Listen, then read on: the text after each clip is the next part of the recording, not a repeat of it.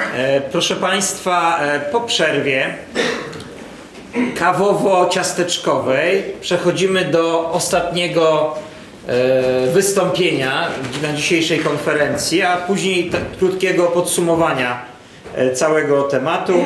Ostatnie wystąpienie to będzie poga- pogawędka, można tak nazwać? Jasne. pogawędka Sebastiana Pitonia, czy operacja Barbarossa, która jak pamiętajmy rozpoczęła się w dniu 22 czerwca 1941 roku atakiem III Rzeszy na Związek Sowiecki, który uprzedził atak Rosji Sowieckiej na III Rzeszę, czy przypadkiem e, w tym dniu po obu stronach frontu nie spotkali się dwaj agenci Wall Street. Proszę bardzo.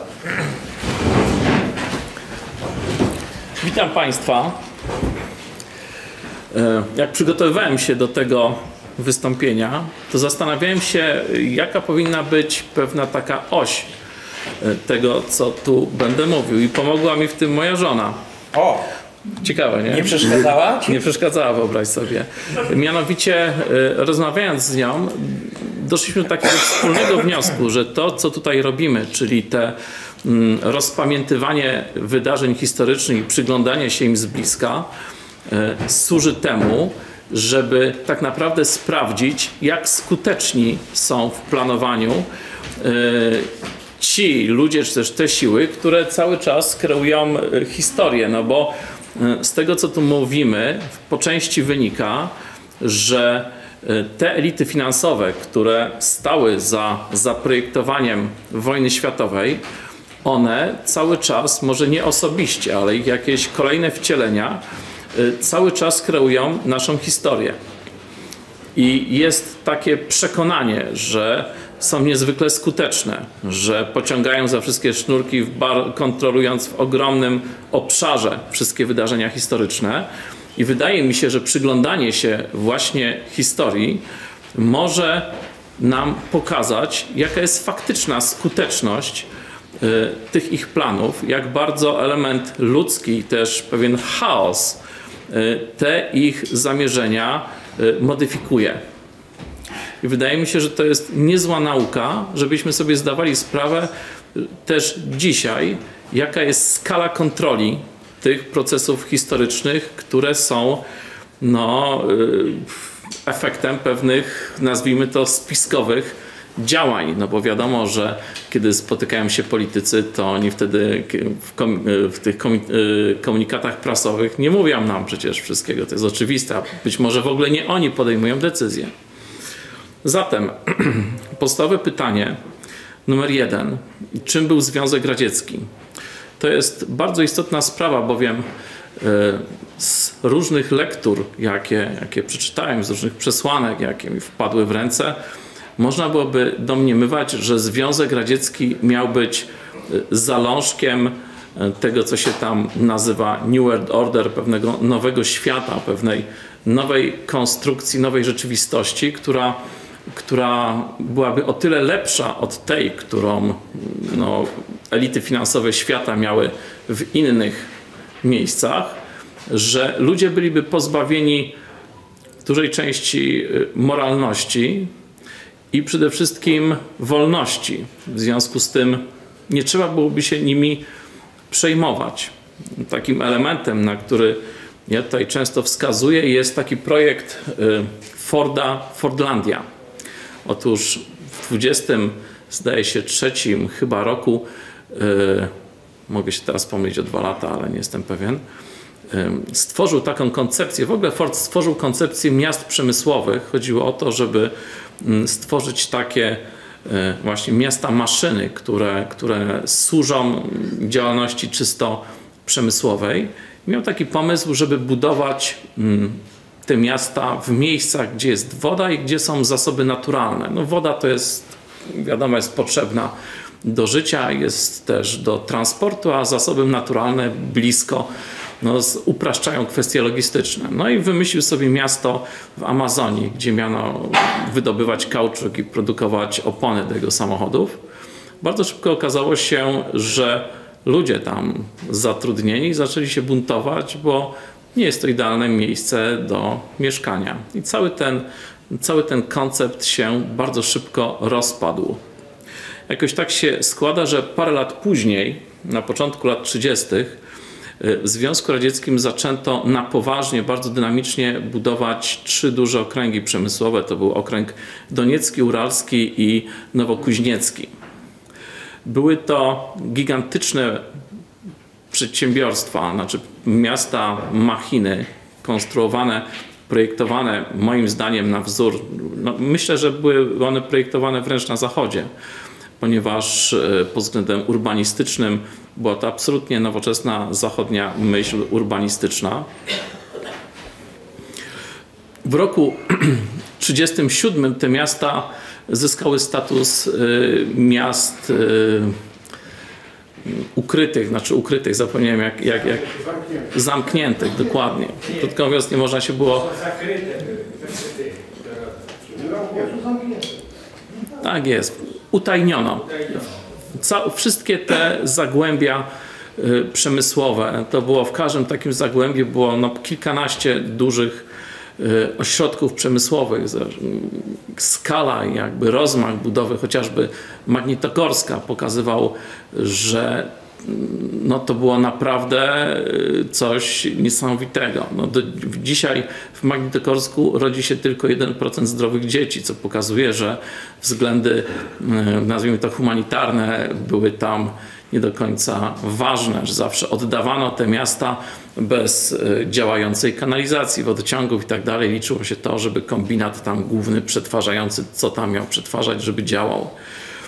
Słowem, była to inwestycja w nowy świat, w nowy, lepszy świat, gdzie elity e, finansowe będą mogły nie liczyć się z pracownikami. No, myślę, że tak jak tutaj pani Ziętek-Wielomska wskazuje, że wcale nie chodziło o komunizm, bo komunizm jest pewną doktryną polityczną, która zakłada dzielenie się wszystkim, zniesienie e, własności i tak dalej, że tutaj chodziło raczej o system kastowy, o system stworzenia dwóch kast, kast właścicieli i kast quasi-niewolników.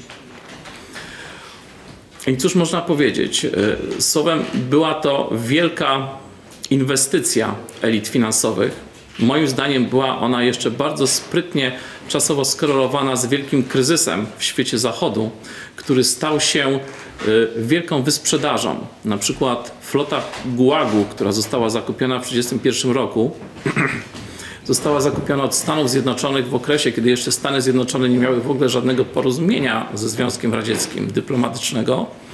I były to statki, które służyły do y, transportu materiałów wojennych podczas I wojny światowej, takie powiedzmy odpowiedniki statków klasy Liberty w II wojnie światowej i one zostały sprzedane za no nie mówię, że ułamek, ale za niewielki procent ich realnej wartości, właśnie dlatego, że były sprzedawane w okresie wielkiego kryzysu i nawet pewien Amerykanin, który opisuje y, dzieje tej floty Gułagu, mówi, że to takie jakby wielkie szczęście dla Rosjan, że akurat wtedy był kryzys, ponieważ mnóstwo rzeczy można było y, do Rosji wywozić po bardzo zaniżonych cenach. Nie mówiąc już o tym, że sam wielki kryzys nie był kryzysem, tylko był tak de facto skokiem na pieniądze Amerykanów, bo to nie jest tak, że jeśli pieniądze zniknęły z banków, to że one zniknęły. No, pieniądz to jest pieniądz. Mówimy o czasach, w których y, pieniądz był wymienialny na złoto, w związku z tym nie był pieniądzem wirtualnym. Y, mam taką teorię spiskową, że wielki kryzys to jest bardzo ważne wydarzenie i wielki kryzys umożliwił transfer pieniędzy dodatkowy mm, z ludzi z Zachodu, zwłaszcza z Amerykanów, do kieszeni bankierów, którzy za te pieniądze mogli swobodniej wybudować potęgę przemysłową Związku Radzieckiego. Czyli co, konferencja o wielkim kryzysie? Rozmawialiśmy Organiz- na ten organizujemy? temat. Organizujemy? Dobrze.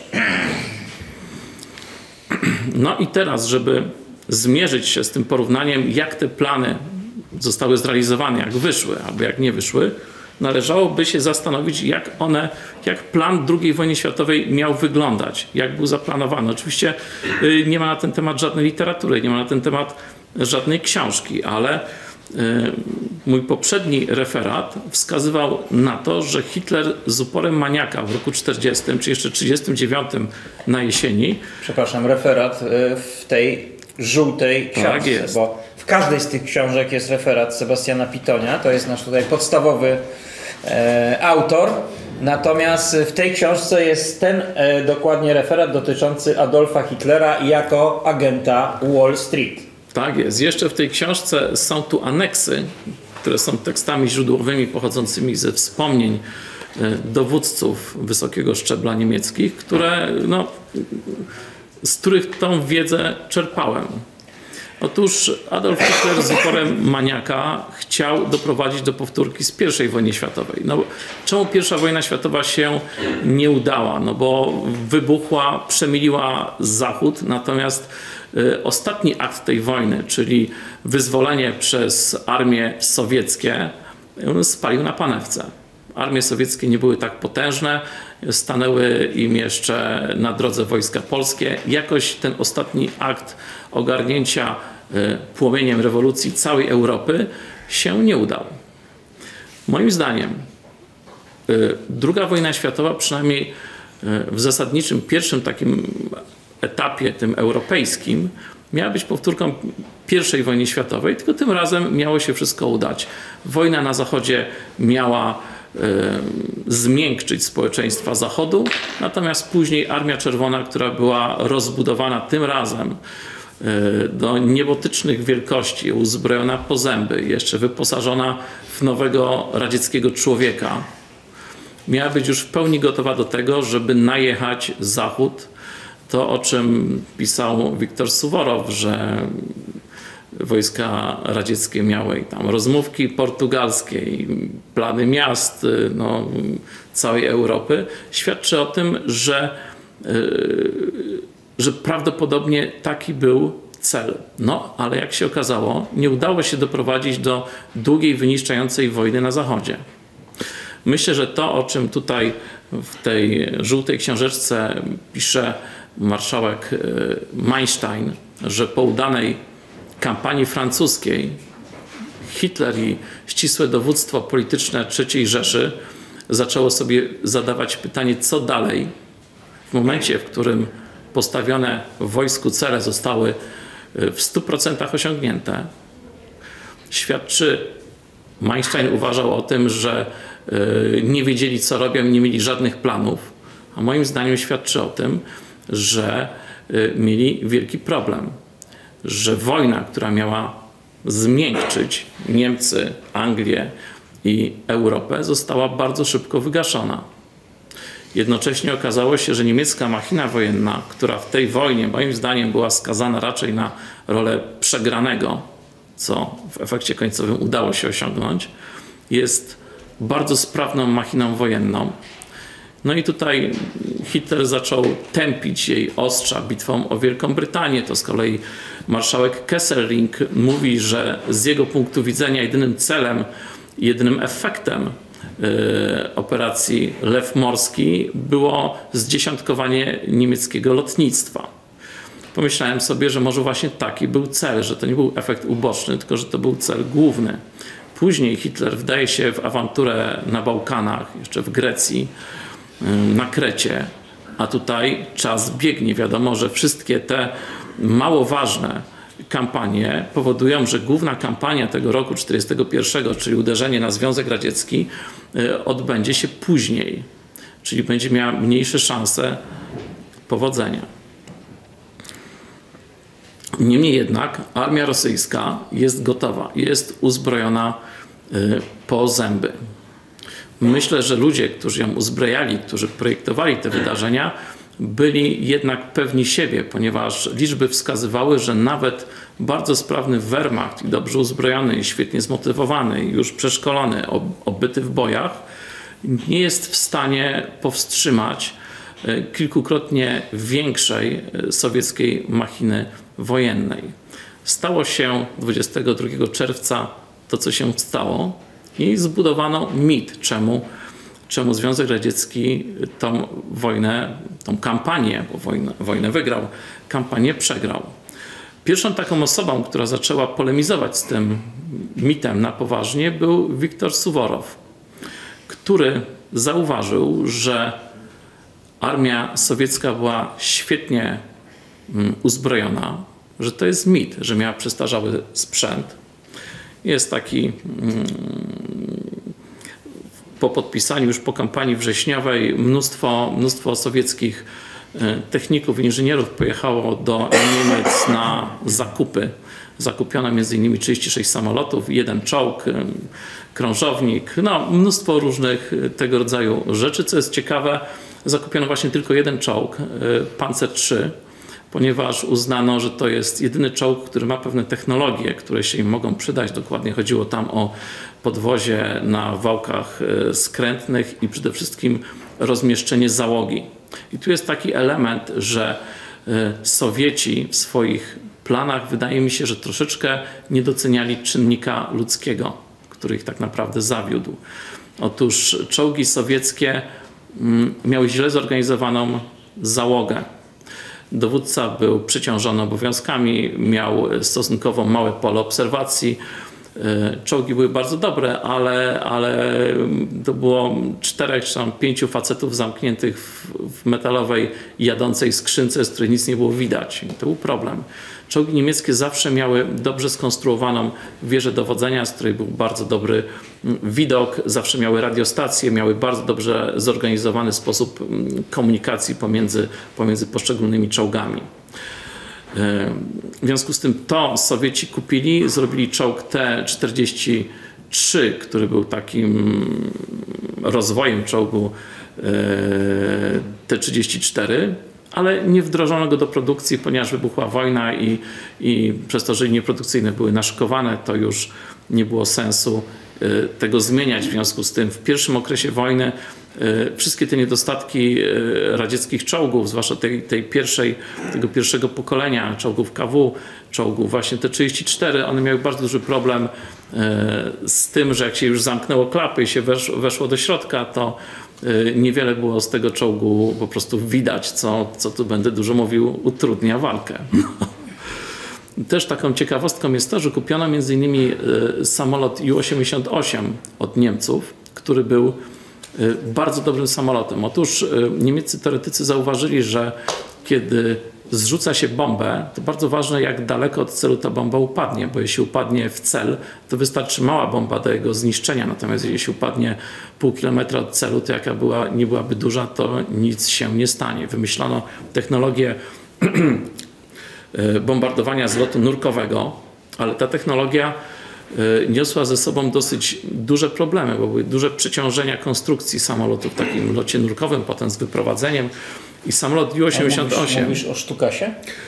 O Ju-88 akurat. Sztukas Aha. był świetnym, świetnym narzędziem tego typu, ale miał mały zasięg, troszkę był takim samolotem taktycznym. Ju-88 był konstrukcją dużo bardziej um, uniwersalną i ciekawe jest to, że Rosjanie kupili Ju-88, kiedy już był dopracowaną konstrukcją, który działał automatycznie. Ten samolot, jak się wciskało guzik, on sam wchodził w lot nurkowy, yy, później z niego wychodził i tak dalej. Był dopracowaną konstrukcją. Wszystkie te szpejostwa z Ju-88 przełożono do samolotu P-2. W związku z tym ludzie, którzy się interesują militariami, mogą się zastanawiać, skąd takie idealne podobieństwa, na przykład hamulców aerodynamicznych P2 i i-88 po prostu zostały przełożone w całości, cały ten, cały ten system został przełożony. W związku z tym Niemcy zdawali sobie sprawę, jak się czyta wspomnienia, że e, Rosjanie nic nie pokazują swojego, natomiast z pytań, jakie zadają, wynika, że, że są lepsi. Pytają o rzeczy, o których Niemcy jeszcze nie wiedzą. W związku z tym to był taki element trochę niepokojący. No i teraz jaka jest sytuacja? Wiktor Suworow opowiada, że y, armia sowiecka faktycznie była świetnie wyposażona. Faktycznie jest mitem to, że 80% y, sprzętu była przestarzała. Porównując ją ze sprzętem niemieckim, była porównywalna, a często dużo lepsza. No ale y, armia sowiecka była naszykowana do ataku.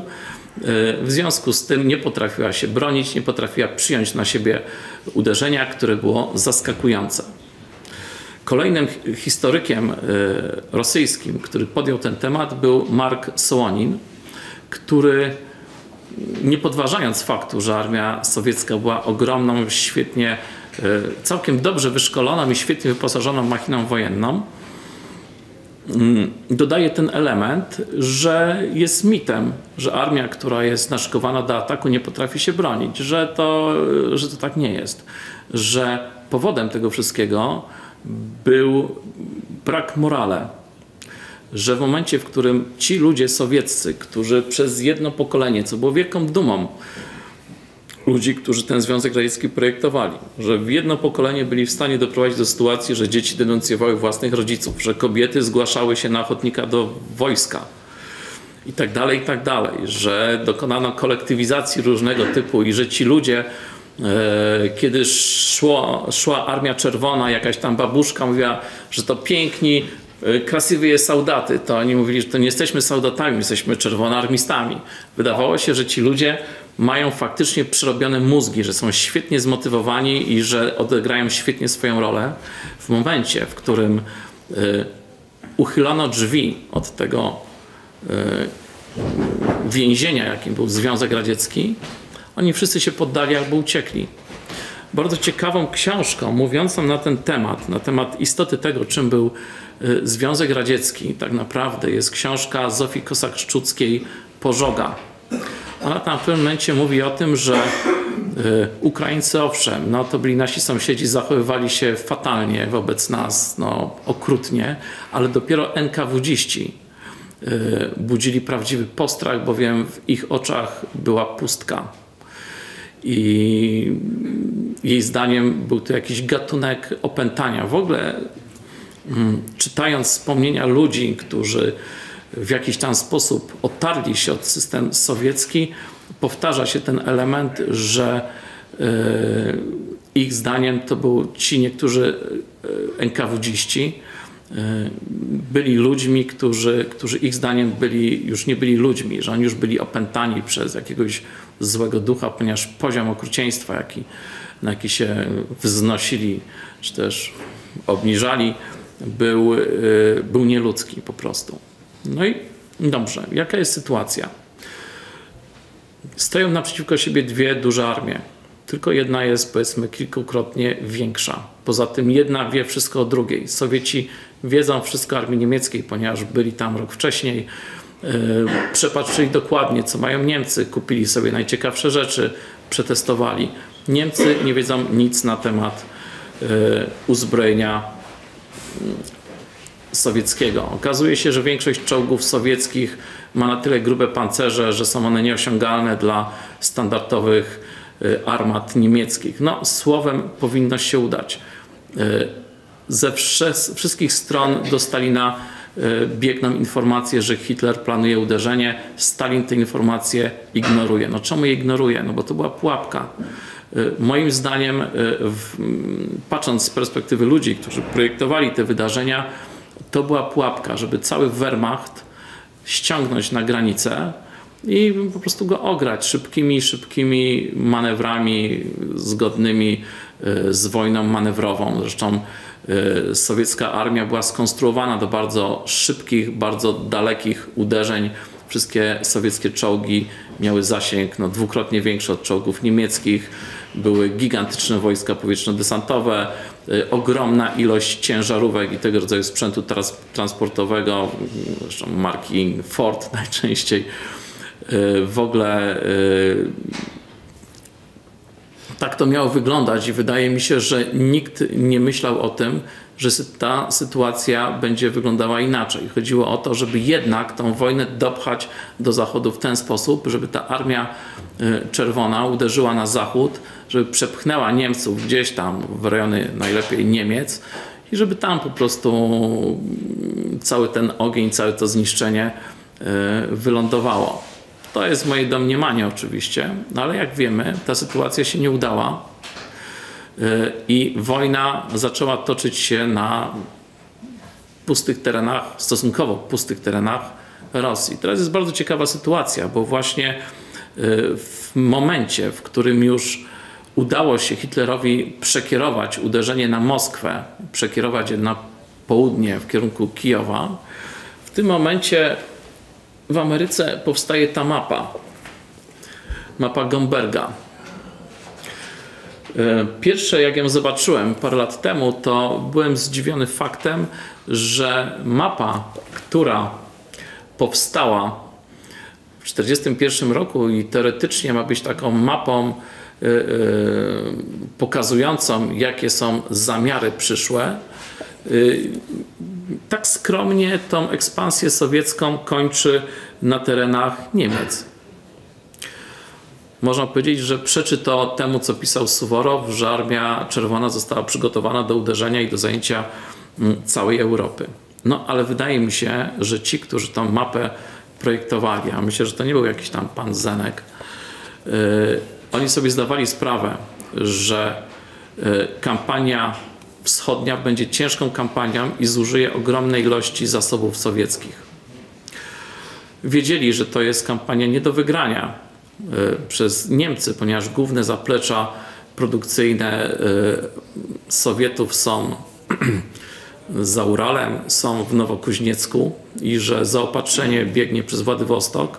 W związku z tym zdawali sobie sprawę, że ograć się tego nie da, bo są zbyt duże przestrzenie i Niemcy po prostu nie są w stanie ogarnąć wojny na takich przestrzeniach. Natomiast zdawali sobie sprawę, że to będzie wojna bardzo dla Sowietów wyniszczająca. Zresztą yy, Związek Radziecki poniósł naprawdę gigantyczne straty w ludziach, w sprzęcie i dociągnął do końca e, tej wojny na resztkach, można było powiedzieć. W związku z tym ta konstrukcja, którą tutaj widać, geopolityczna, ona zakłada skromniejszy wariant wydarzeń, mocno skromniejszy wariant wydarzeń. Zakłada, że Armię Czerwoną będzie stać na okupację Polski, Europy Środkowej, być może kawałka Niemców. I to jest wszystko. Wydaje mi się, że jeszcze mm, kształt tej planowanej w 40 roku, we wrześniu, we wrześniu chyba, pod koniec 41 y, roku mm, rejonu wpływów Związku Sowieckiego, y, on jest bardzo sprytnie skonstruowany pod względem geopolitycznym, mianowicie zamyka tej różowej strefie dostęp do szlaków morskich. Powoduje, że y, ciężko byłoby, ciężko byłoby się uzależnić temu różowemu stworowi, gdyby kiedyś w przyszłości przyszło mu, na, gdyby kontrola nad tym elementem się skończyła, to on i tak będzie kontrolowany przez fakt, że Stany Zjednoczone, które wyjdą z, tą, z tej wojny, będą absolutnym hegemonem morskim. Co jest ciekawe, w tej książce żółtej jest fragment z książki George'a Friedmana Następne 100 lat, w której na początku tej książki John Friedman y, jakby w jednym rozdziale mm, opisuje drogę Stanów Zjednoczonych do światowej hegemonii i drugą, drugą wojnę światową sprowadza praktycznie do dwóch faktów. Rozbudowania floty, która y, zapewni Ameryce hegemonię oraz przejęcie baz na Atlantyku brytyjskich, które stanowią zagrożenie do, dla terytorium Stanów Zjednoczonych. Z punktu widzenia amerykańskiego geopolityka to są dwa główne elementy. W związku z tym z pewnością taki element, że Stany Zjednoczone wyjdą z tej wojny jako hegemon morski, jako państwo, które ma największą flotę, no to był, y, to był element konieczny, absolutnie konieczny. W związku z tym stworzenie takiej, takiej konstrukcji zapewniało, no było pewnego rodzaju, yy, można powiedzieć, gwarantem tego, że nawet gdyby ta różowa plama się w jakiś sposób usamodzielniła, zerwała z łańcucha, to nie będzie miała narzędzi do mm, wzrostu gospodarczego, ponieważ wzrost gospodarczy w takiej skali światowej opiera się na handlu morskim, a handel morski będzie kontrolowany przez Stany Zjednoczone, a to tutaj wszystkie wyjścia na morze są zamknięte. No jaki z tego morał, że y, ludziom, którzy kreowali tą II wojnę światową, nie udała się tak bardzo. I wyniknęły z tego bardzo y, ciekawe y, konsekwencje. Mianowicie y, nie udało się do końca stworzyć Homo Sovieticusa, który byłby dobrym narzędziem, dobrym niewolnikiem, który by dobrze pracował i się nie buntował. To jest w ogóle największy problem. W jaki sposób stworzyć z człowieka dobrze umotywowanego robotnika. To jest problem. No, cały problem w Związku Radzieckim polegał na tym, że jak się czyta na przykład książki właśnie Marka Sołonina, to okazuje się, że wszystkie te różne koncerny zbrojeniowe, one mm, siłą rzeczy, nawet chcąc być efektywnymi, to i tak różne partyjne gierki powodowały, że zdolni ludzie byli wyrzucani poza nawias, że przejmowali pewne ich projekty y, partyjni aparatczycy, ale no w drugim pokoleniu to już nie było, nie było tych zdolnych ludzi. W związku z tym cały czas Zachód ze swoją wolnością, która jednak tworzy pewne innowacje, musiał saportować rozwój przemysłu Związku Radzieckiego, no bo on sam nie był w stanie wytworzyć e, nowatorskich technologii, które by mogły stworzyć machinę wojenną, którą można byłoby straszyć Zachód.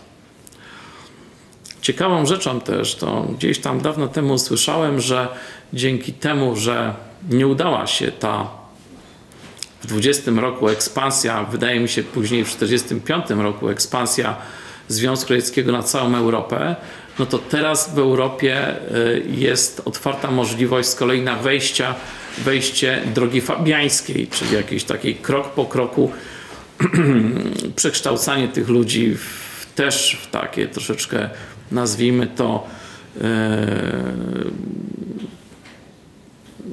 w ludzi, którzy są podatni władzy i którzy są podatni na y, wyrugowanie z moralności, no bo to w dużej części Wydaje mi się, że tutaj moralność i wolność to są takie elementy, które, które są bardzo silnym, bardzo mocnym atrybutem człowieka i jeśli się tą moralność zachowa, no to ciężko zostać tak naprawdę niewolnikiem. I tak sobie myślę, że ciekaw jestem, co by było, gdyby, gdyby się ta druga wojna światowa udała, czy przypadkiem, no bo patrząc po nas, tak na dwoje babka wróżyła. Z jednej strony mamy taki gen nieufności w stosunku do władzy, pewien spryt, taki, no można powiedzieć, że klasyczny profil Polaka polega na tym, że nie ufa urzędom, y, nie ufa prawu, że jak widzi jakieś obostrzenia, to od razu myśli, jak je obejść. Natomiast ludzie z zachodu są tutaj dużo bardziej podporządkowani, mają taki większy gen bizantyjski, nazwijmy to, że jeśli jest państwo i coś państwo już wymyśliło, to znaczy, że to jest mądre. No ale dzięki temu są też w pułapce tej, że przyswajają te wszystkie lewackie, e, nowoczesne trendy bezkrytycznie. My z kolei niestety dosyć mocno przyzwalamy na różnego rodzaju patologie. Jeśli słyszymy, że jakiś polityk coś ukradł, że odbywają się przetargi bez przetargów, no to uważamy, że to jest bandyckie prawo polityków i się tym nie dziwimy. Na Zachodzie jednak te standardy związane z poziomem uczciwości są troszkę wyższe, no ale z drugiej strony, tak jak mówię, oni e, dużo łatwiej, e, dużo łatwiej ulegają tym ideologiom, które no, wyrzucają z nich moralność. W związku z tym na dwoje babka wróżyła i dopiero czas pokaże, co jest gorsze. I myślę, że na tym chciałbym zakończyć.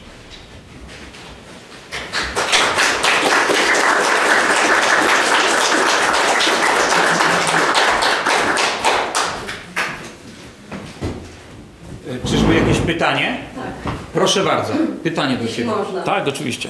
Ale może E, usiąść. Tak, to po pierwsze ja bym chciała nawiązać do ostatniej kwestii. E, że człowiek zachodu, y, dla Pana zdaniem to jest objaw bizantynizmu, że tak ufa państwu prawu. A czy to nie jest tak, że po prostu w zachodniej Europie, no jednak o chrześcijańskich fundamentach, państwo jakoś jednak służyło człowiekowi bardziej niż, znaczy, natomiast my Polacy mamy to doświadczenie od ponad 200 lat, państwa wrogiego. I, i stąd ten nasz, nasz gen y, sprzeciwu wobec państwa, który teraz się okazuje zbawienny w tej, w tej w obecnej sytuacji. Pani, to jest, to jest dobre pytanie.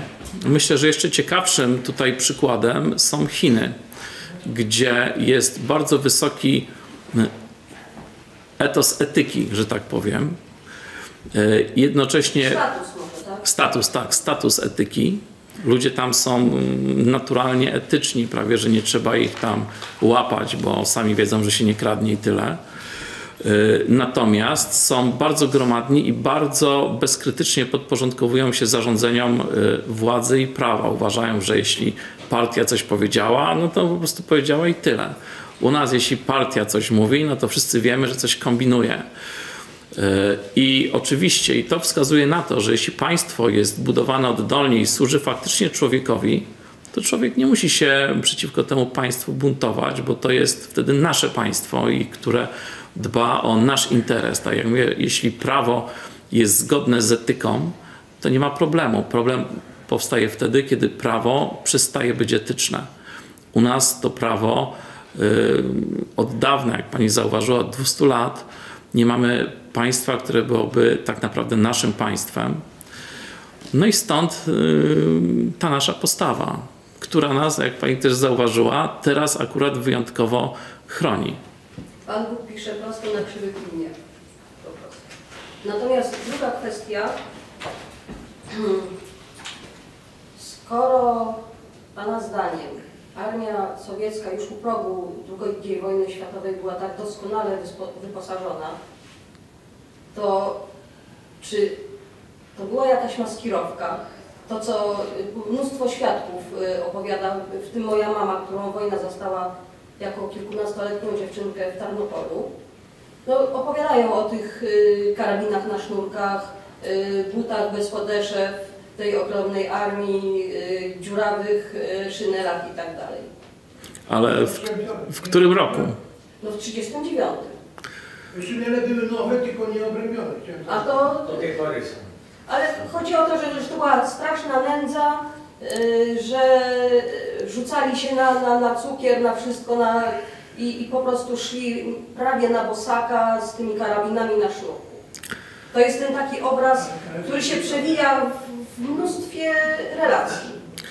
No, ja myślę, że jeśli konstruuje się państwo, gdzie człowiek ma być niewolnikiem, to ten element ludzki traktuje się jak mięso armatnie i się tam nim człowiek strasznie nie przejmuje. Y, Trudno Nawet mi. wojnę, sam Pan powiedział, że była to armia doskonale wyposażona. Owszem, ale powiem pani na przykład Znaczy, w ten sposób, oddziały na pewno. że samoloty, że samoloty miały y, radiostację y, chyba tam co dziesiąty i to tylko duży dowódca miał nadawczą i odbiorczą, a większość miała tylko odbiorcze. Słuchać rozkazu. słuchać rozkazów. Jak się później okazywało, że wyszkolony, dobry pilot, na przykład najlepszym niemieckim pilotem, uważanym za najlepszego niemieckiego pilota był Joachim Marcel, który był totalnie niepokorny. On, gdyby nie to, że miał jakiegoś tam wuja generała, to wyrzucali go z każdego y, dywizjonu, bo on po prostu pił po nocach, uganiał się za dziewczynami, kradł dowódcom samochody i w ogóle ich nie słuchał. Natomiast był absolutnie genialnym pilotem. No i y, co się okazuje, trzeba być świetnie wyszkolonym indywidualistą, żeby sobie y, radzić w realiach nowoczesnej broni, która jest bardzo skomplikowana, tak jak na przykład samoloty. Y, A Sowieci w ogóle tego nie przewidzieli, tego elementu ludzkiego, y, indywidualności, która jest skłonna podejmować decyzje właściwe, ryzykować i tak dalej. Y, Ten element tam był pominięty w dużej części. W związku z tym tak sobie wyobrażam, że Ale jeśli, chyba.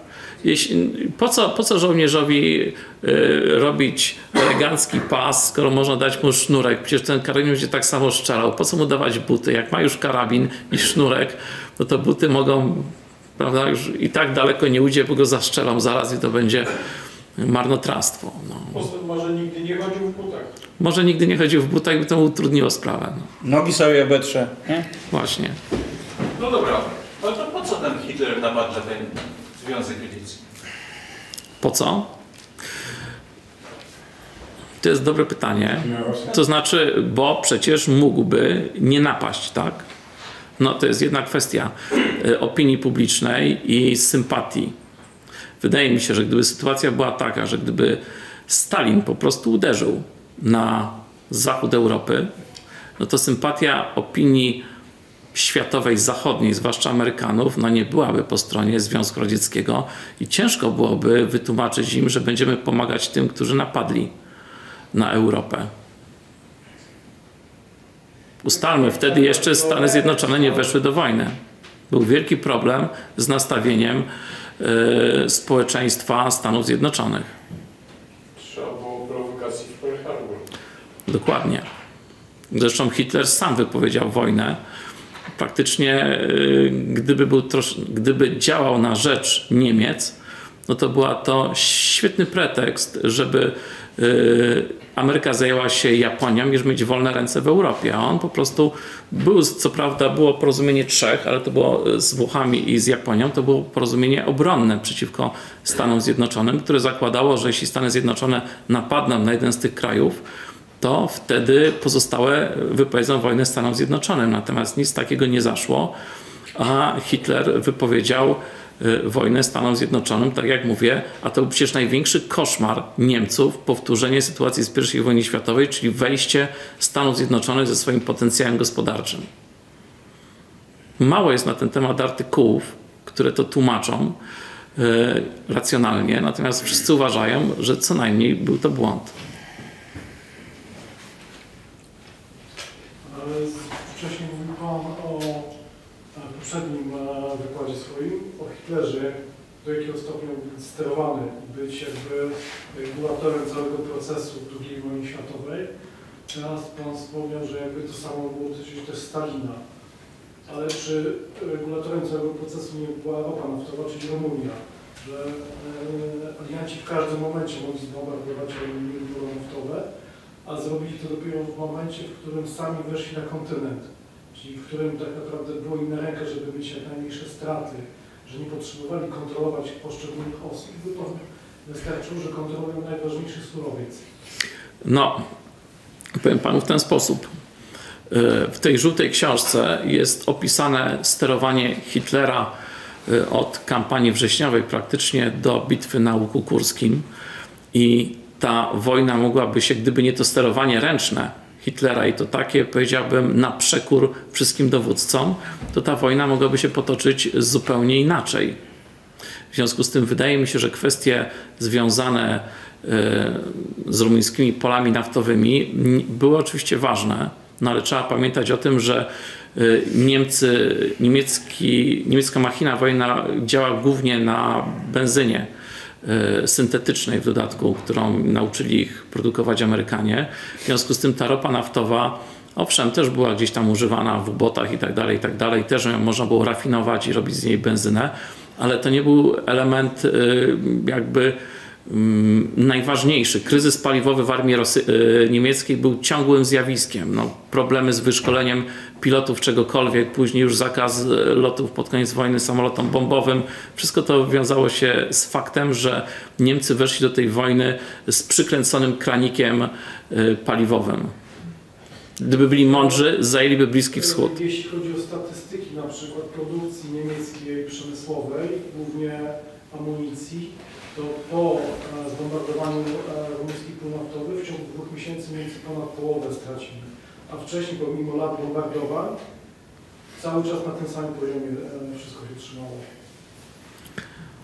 Czyli uważa pan, że bombardowanie tam Pleszty i tak dalej, y, to był taki element zakręcający kurek. Jeśli Niemcy poszliby za daleko na, na wschodzie, w każdym momencie Stany mogłyby ściągnąć dwa lotniskowce, nawet jeśli nie byłoby zasięgu e, bombowców z jakiejś wyspy albo z Włoch. W każdym momencie mogli jakby kręcić to. No ja myślę, że z lotniskowców to by nie zbombardowali niczego. Y, Raczej, ponieważ samoloty, które wtedy bazowały na lotniskowcach, y, miały stosunkowo mały udźwig, były stosunkowo wolne i myślę, że nie miałyby tutaj szans. Y, No, y, to był problem zasięgu. Pola Pleszti były głównie bombardowane przez y, B-24 Liberator, które były samolotami dosyć takimi no, łatwymi do zeszczelenia w porównaniu z, B20, z B-17. W związku z tym to były kosztowne bardzo operacje. Nie wiem, czy to jest aż tak ważny element, krótko mówiąc. Nie wiem, czy to jest element decydujący. Nie wiem. Ale to ciekawe. A jak ocenić teraz Roma albo Einsteina, jeżeli, jeżeli założymy, że Hitler był powiedzmy agentem Wall Street, to oni ratowali Niemcy. Einstein, genialny, dowódca, samolowa. Znaczy, Oni nie uczestniczyli w. Znaczy, to jest na tej zasadzie, że niemiecka machina wojenna, w ogóle y, struktura armii i tak dalej, i tak dalej, no to byli ludzie, to byli patrioci i ym, oni uważali, że wojna na Zachodzie w naturalny sposób jest Niemcom niepotrzebna. Ym, Sztab Generalny uważał, że rolą sztabu generalnego jest tworzenie strategii, które mają osiągnąć cele polityczne wyznaczane przez polityków. Na zasadzie, na przykład Hitler mówi, chcemy y, odzyskać, nie wiem, Nadrenię, załóżmy. I wtedy oni mówią, robimy to i to, robimy pokój i wtedy jest dobrze. Na przykład jaka była sytuacja, jakie były pomysły sztabu generalnego na odzyskanie y, ziem tych, mm, które y, zostały przyznane w Polsce i które rozbijały jakby spójność terytorialną państwa niemieckiego. Niemcy wiedzieli, że Polacy im tego nie oddadzą, że być może ciężko jest gadać o korytarzu, mimo że ich, ich propozycje były bardzo dobre. W związku z tym uważały, Niemcy uważali, że należy sprowokować Polskę do jakiejś wojny z Niemcami i wtedy tę wojnę Polacy przegrają i usiądą do stołu i po prostu zabiorą co ich. Tak, taka była koncepcja niemieckiego sztabu generalnego. I kiedy, kiedy Hitler przejął praktycznie rolę planowania, to nie musiał im mówić, jakie są cele. Mówił po prostu atakujemy Francję. Wszyscy domyślali się, że być może chodzi o to, żeby e, tą granicę jakby uregulować w taki sposób korzystniejszy dla Niemiec, a potem się okazało, że chodzi po prostu o wojnę, o wojnę jako taką, że nie ma w tym żadnego takiego sensu. Na zasadzie załatwmy tutaj sprawę z Francuzami, odwróćmy się na wschód, bo tam jest wróg, a poza tym tam jest nasz Lebensraum, yy, Mitteleuropa, czyli wszystkie te obszary, które według niemieckich yy, geopolityków, takich jak Karl Heinz Hofer, Haushofer, y, są tym naturalnym y, terytorium, które ma być terytorium po, po części podległym Niemcom. Przecież Niemcy nigdy w swoich, swoich takich planach y, geopolitycznych nie uważali, że należy pod, podbić Zachód, ani z nim walczyć. Myślę, że powoli temat się wyczerpuje. Przypomnę, że gościliśmy dzisiaj Grzegorza Brauna, który na ten temat nakręcił film, zdaje się pod tytułem Marsz Wyzwolicieli, który właśnie pokazywał, że w kraju, w którym e, była generalnie bieda, jakim był Związek Sowiecki, było przeszkolonych w 1941 roku milion spadochroniarzy. E, W każdym parku stała wieża spadochronowa, gdzie dzieciarnia radziecka ćwiczyła sobie skoki spadochronowe. No, e, spadochroniarze e, wojska powietrzno-desantowe to nie, jest, to nie są formacje obronne. Więc Wiesz, to daje możliwość zrobienia, nie wiem, 70 dywizji. 70 dywizji e, powietrzno-desantowych robili samoloty odpowiednie w tym kierunku. No, generalnie Związek Sowiecki nie był przygotowany do wojny obronnej, był tylko przygotowywany do wojny mm, napastniczej.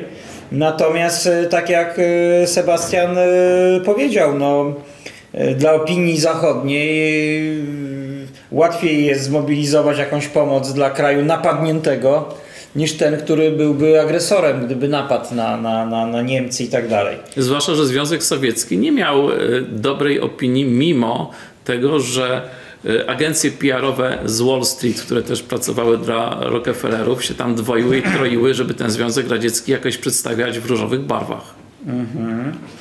E, Proszę Państwa, wiele właśnie e, książek potwierdza e, te e, wsparcie dla Związku Sowieckiego ze strony Am- Amerykanów. E, Dużo na ten temat jest w książce Pierre de Villemare Źródła finansowe komunizmu i nazizmu, czyli w cieniu Wall Street. To jest o, o finansowaniu zarówno e, partii e, NSDAP, jak i partii komunistycznej w Rosji. I jest tu bardzo ciekawy dokument e, z 14 września 1948 roku. Tym dokumentem, to, to jest aneks, kończy się w zasadzie ta książka. I tam e, wprost w 1948 roku Amerykanie piszą Powinniśmy ożywiać dysydentów w łonie partii komunistycznych tych krajów, aż do stworzenia formacji e, e, reżimów antystalinowskich, nawet jeżeli, nawet jeżeli ta opozycja będzie ciągle komunistyczna. Masowa ofensywa przeciw doktrynie stalinowskiej, promowanie komunizmu narodowego w tych krajach oraz totalne użycie naszej siły ekonomicznej. Oto nasze cele i środki. I tak dalej. I tu komentarz de Villemare. Dokument powyższy tłumaczy, yy, że jeszcze w roku 1995, czyli yy, w 50 lat po napisaniu tego dokumentu, Waszyngton pomaga i wspiera materialnie komunistów, którzy pozostali lub powrócili do władzy w krajach byłego bloku sowieckiego.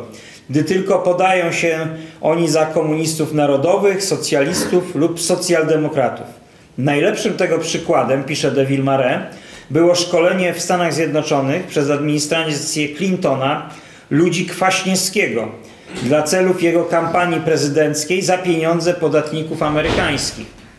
Czyli Aleksander Kwaśniewski i jego ekipa. I na zakończenie de Villemare pisze to tłumaczy również, dlaczego nie polskie środowiska niepodległościowe, ale kręgi dysydenckie z byłej PZPR, w nawiasie Kuroń, Geremek, Balcerowicz, otrzymywały przez tyle lat i otrzymują nadal poparcie polityczne i materialne z Zachodu, głównie z USA. Czyli jak gdyby ta historia e, cały czas się, się toczy. toczy. I między innymi, żeby pokazywać te procesy, po to organizujemy nasze konferencje, ale także, żeby odkłamywać y, różne detale historii. No, y, w innej książce Hitler założycielem Izraela, Henneke Kardela, na stronie numer 200, no jest ten słynny cytat y, właśnie z Kardela, który pisze w ten sposób. Biskup sufragan dr Neuheisler który w latach 1941-45 był więźniem obozów Sachsenhausen i Dachau, udowodnił w swojej broszurze, tak było w Dachau, to jest tytuł tej broszury, że całkowicie fałszywe były doniesienia prasowe mówiące o 23 800 zagazowanych i spalonych w Dachau. W obozie koncentracyjnym w Dachau nie było komór gazowych i po ukazaniu się broszury Neuch, biskupa Neuchalzlera usunięto tablicę znajdującą się na terenie obozu, na której przez wiele lat widniał, widniała fałszywa liczba ofiar i tak dalej. Więc po prostu, proszę Państwa, z jednej strony jest wiele detali, e, które po prostu zakłamują historię II wojny światowej, a z drugiej strony ona jest umieszczona w pewnym i czasowym, i, i geograficznym kontekście, i dlatego warto e, tymi tematami się zajmować. Jeżeli nam się uda, to 9 maja w sobotę, jak będzie cisza e, przedwyborcza, przed pierwszą turą wyborów prezydenckich, zorganizujemy tutaj kolejne spotkanie. Myślę, że już podsumowujące te konferencje o o II mm, wojnie światowej, a za jakiś czas, jak się nam uda zebrać odpowiednich prelegentów, konferencję taką o sprawach y, z pogranicza ekonomii i polityki, czyli na przykład konferencję dotyczącą wielkiego kryzysu, y, jak on został y, spreparowany, sztucznie wywołany i wykorzystany do sobie wiadomych mm, celów. No nie wiem, ja podsumowując, może nie powinienem tego mówić, ale wydaje mi się, że kon, nasze konferencje, y, co kolejna konferencja, to się okazuje ciekawsza.